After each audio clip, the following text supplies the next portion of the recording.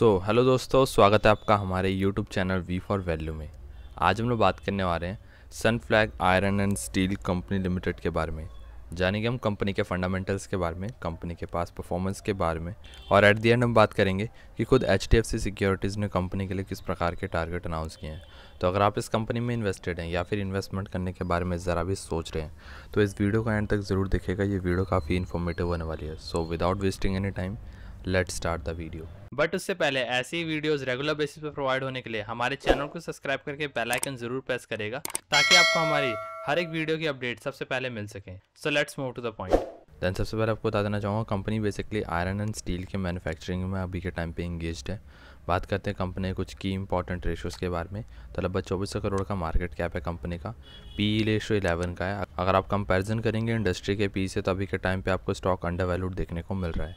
जिनको नहीं पता पी ई रेशो क्या होता है, मैंने दो मिनट की एक डेडिकेटेड वीडियो बनाई है। लिंक आपको डिस्क्रिप्शन में मिलेगा। इस वीडियो के बाद आप उसे भी देख सकते हैं। देन बात करते हैं आरओसीई की तो आपको फिफ्टीन का देखने को मिल रहा है। आरओई आपको थर्टीन का देखने को मिल रहा है। कंपनी का ओपीएम मार्जिन आपको 12 का देखने को मिल रहा है। बात करते हैं कंपनी के ऊपर टोटल डेप्ट की तरह पाँच सौ करोड़ का डेप्ट है। इसके अलावा कंपनी पर एनम जो नेट प्रॉफिट अर्न करते हैं वो लगभग टू करोड़ का।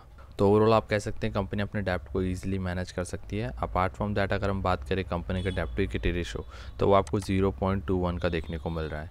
देन इसके अलावा बात करते हैं कंपनी के प्रॉफिट एंड लॉस के बारे में, यानी क्वार्टरली रिजल्ट्स के बारे में तो यहाँ पे आप देख पा रहे होंगे। सितंबर क्वार्टर में कंपनी ने टोटल सेल्स करी थी आठ सौ छियासी करोड़ का। नेट प्रॉफिट की अगर हम बात करें तो 18 परसेंट के ओपीएम मार्जिन के साथ कंपनी ने जो नेट प्रॉफिट कमाया था वो था 95 करोड़ का।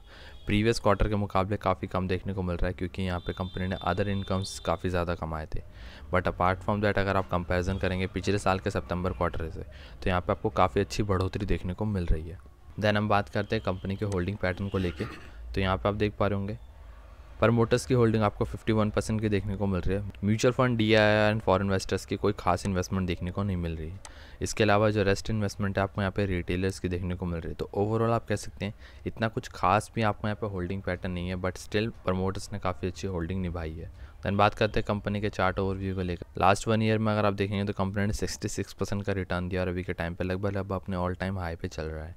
दैन बात करते हैं कंपनी को खुद H D F C securities ने किस प्रकार के टारगेट दिए हैं तो यहाँ पे आप देख पा रहे होंगे। बाय कर सकते हैं स्टॉक को 130 के अराउंड टारगेट जो दिया गया है वो है लगभग 156 का।